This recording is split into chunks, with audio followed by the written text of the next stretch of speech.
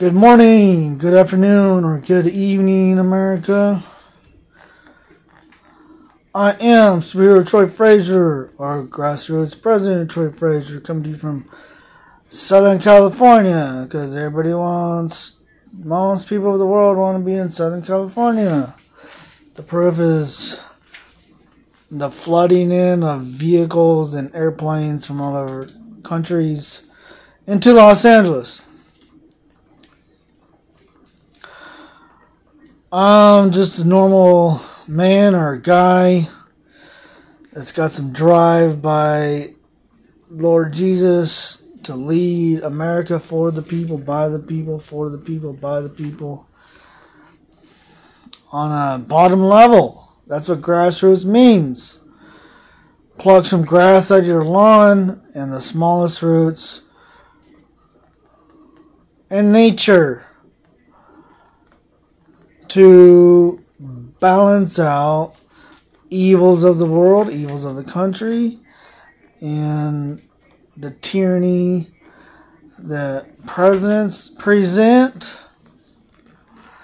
Because most of them sold their souls to the devil, sold the country to the devil, and want to be billionaires. So, anyway, what today's topic is the scariness of dogs, especially dogs in your house when you you don't own one, dogs in your neighborhood, dogs in Walmart, wall fart, or a restaurant where they clearly don't belong. So the worst place to have a dog is in your bedroom.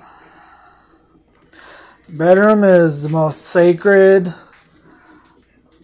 place on earth to you.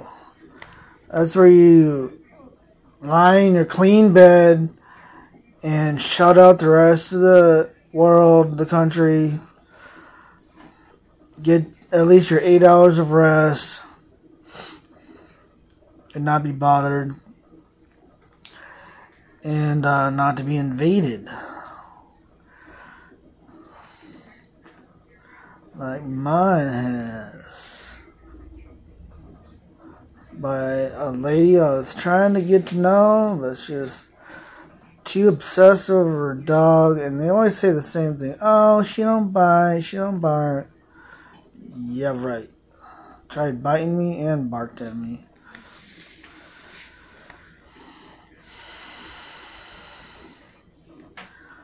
So, you don't want your house a madhouse like this used to be because my half sister had nothing to do but to see 12 people per day, every day, all around the clock and some of them had dogs and sneak them in. Or, like one man would bring his big dog to the front door, and then uh, someone inside my house would be leaving or just going outside and then let the dog in. That's super scary when you're being attacked by a dog in your own house.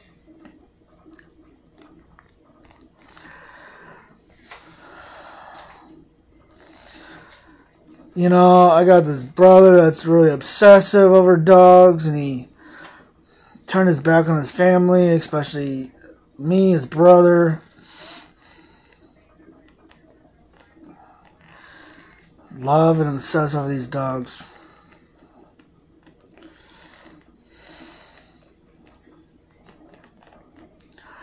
They get voicemail, they have their own Facebook account, they have more pictures of the dogs because they're like male and female twins. More pictures of the dogs in the living room than me and family.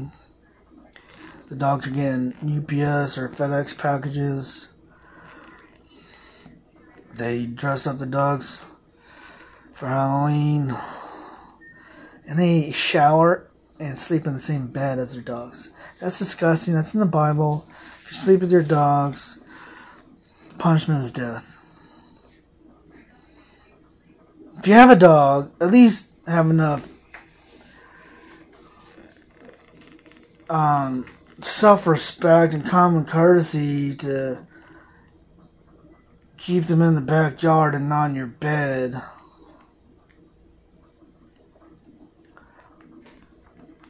The only advantage is then I won't be hearing your dog as much barking outside.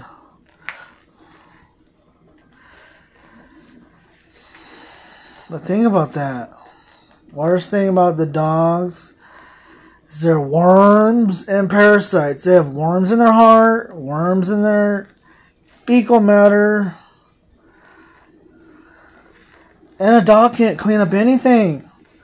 Dogs are the filthiest, most disgusting, most gross animal on earth. They can't clean up anything. They don't even bury their own poop. Just dump and go. Like this one lady I was trying to get to know, the dog was pooping in the kitchen, and I threw up in my mouth, trying to drop off some a bag of ice.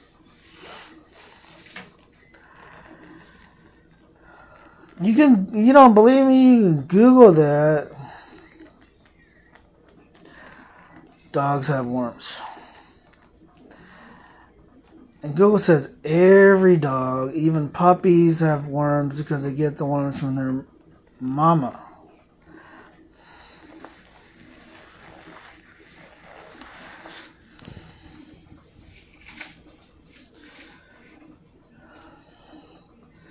And then they will say, especially my brother, oh, the dogs have emotions. Oh, the dogs have feelings. Oh, they love you. Of course. That's fake love. Fake. Faker than breast implants.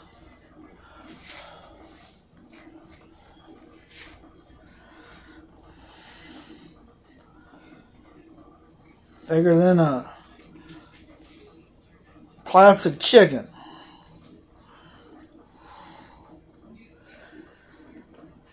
Don't fall for their fake love. Of course, they want to seem like they're happy for you to touch them because they can barely touch themselves. They can only, they don't have hands, they don't have fingers.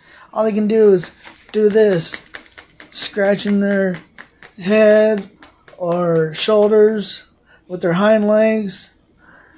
It's absolutely disgusting because they must have fleas. You want fleas in your bed, fleas in your couch, fleas in your house, fleas, worms.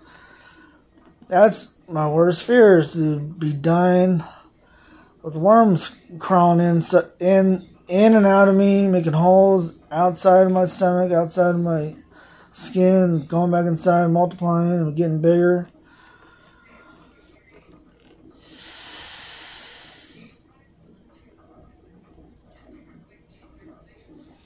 Well, since they have four legs, no hands, they got eyes, nose, you know, a lot of smelling. They're all mouth. All they want to do is eat and bite things. Eat and bite things. I mean, who who else would just chew on a bare bone? It's disgusting and getting you nowhere. So of course they're gonna show you that they're happier now that you're petting them because they can't even rub the back of their head. But even if you're an avid dog lover, got a couple big dogs yourself, isn't that a crime and ridiculous and scary? A big dog comes charging into your yard in attack mode. Because I've had that happen a bunch of times in my house, in my yard. Even the house behind me, their dog came charging through the fence board and broke the fence board down and squeezed inside. Good thing I was able to charge the dog like at a little bit of a run and scare the dog away. But um, those are the worst places to encounter a dog is in your bedroom, in your living room, your kitchen, inside your house, or your front yard, your backyard, or the street, the streets around you. But what's most common and prevalent these days are the big dogs that wall fart. You know what I'm talking about. I don't want to say their names so I don't get their butt hurt because this is YouTube.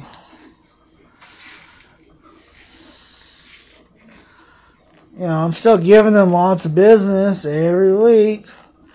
I must have spent at least $50,000 at Walfart. So leave your dogs at home. Tell everybody, leave your dogs at home. Just say no to dogs at Walmart. Even if you're a dog lover, seeing another big dog is not funny. It's not fun. It's not cute. It's not social. It's not like, oh, I'm just gonna go talk to a dog owner because he's got a, he or she got a big dog. No, they can see just fine. They are abusing the handicap system for people that are B L I N D.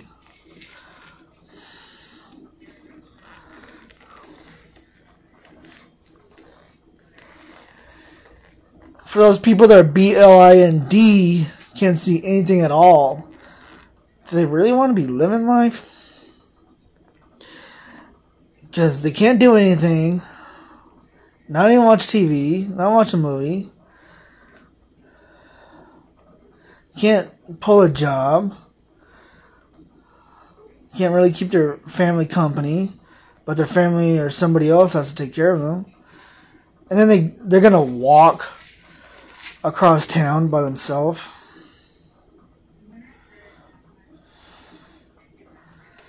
And go into Walmart and do their shopping by themselves.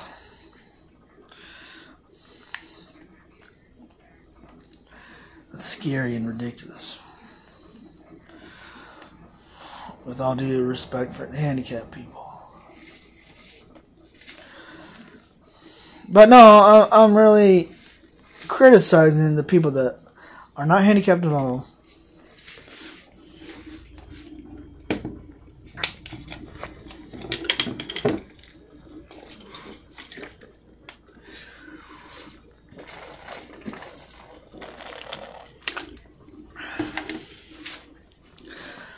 Sorry, I had to take a drink. They're not handicapped at all. And they're bringing in big dogs in a moment. Yeah, it's a little better if the dog has a muzzle to keep the mouth locked shut and on a leash.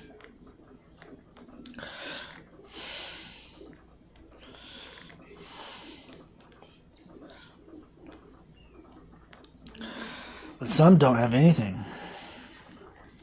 And those are the most ridiculous and scary. Because they can bite the food, especially in the produce section, in the meat section. They can bite you, your daughter, or even run up and just start sniffing you aggressively. That even that worries me that they're so close that they're just going to take a bite.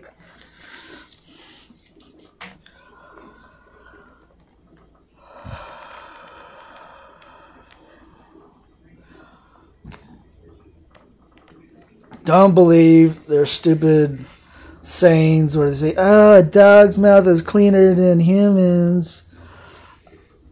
I don't believe that for a second. They've never, even if they were using mouthwash or brushing their teeth. Their teeth are so ugly and disgusting and gingly like a shark or alligator. And got millions of bacteria, hundreds of different kinds of bacteria, maybe. That's what you should be concerned with the most about a dog bite is getting that bite cleaned right away, especially hopefully by a medical professional. See how the light shines behind me like a like a angel, archangel. Anyway, if you see a dog at Walmart, go to the manager and complain. At least do that. Call the cops, call the manager and complain. Do something to exercise your voice to slow down, mitigate, and eliminate these dogs at Walmart, other restaurants, in your neighborhood. See them roaming your neighborhood, you should call animal control.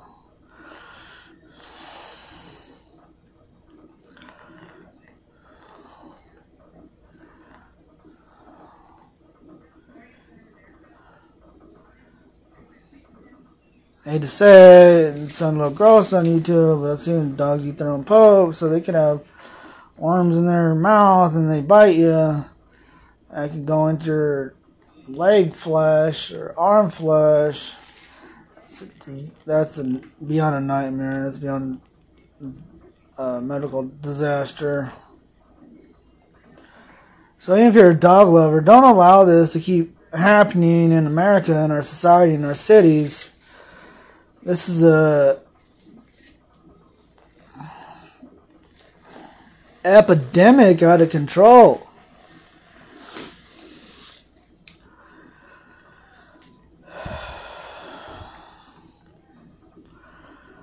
What you gonna do when they're all looking at you? What you gonna do when they're all looking at you?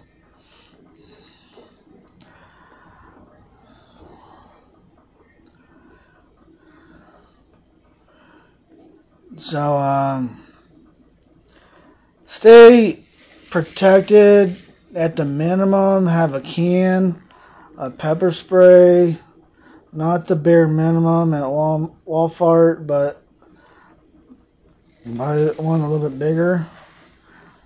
I got an outdoor supply store that I buy from.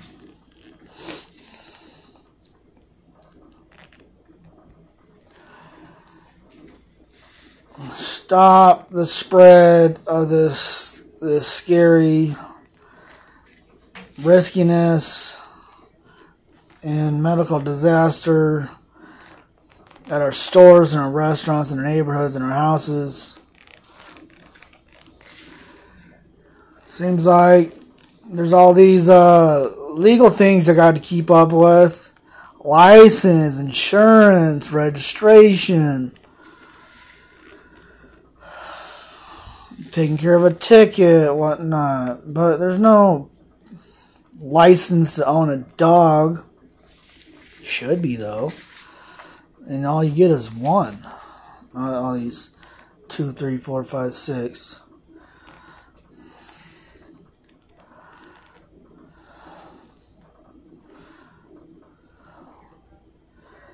Cats are good animals.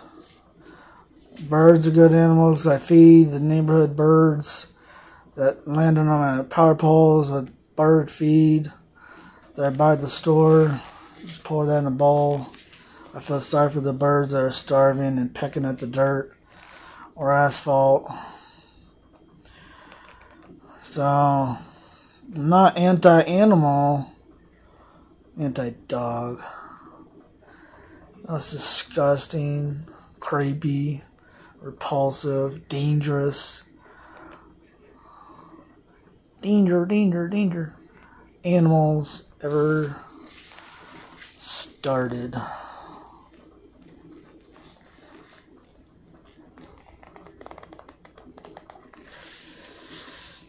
Yeah, and some people don't even believe the Bible because they're trying to misspell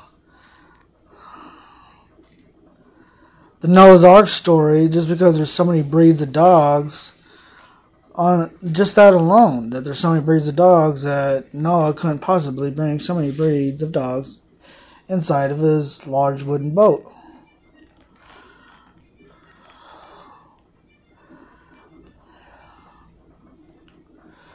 But, you know, over thousands of years, they keep splitting off and creating variations. Not that difficult. So, accept Jesus Christ as your Savior, keep the commandments, obey the laws of California and the rest of the country. Don't be a douchebag of a man. Don't be a. Don't make my life any harder by being the creepiest man of America on Dr. Phil. Alright, been about 20 minutes, so I gotta go. Until next time, love you, bye.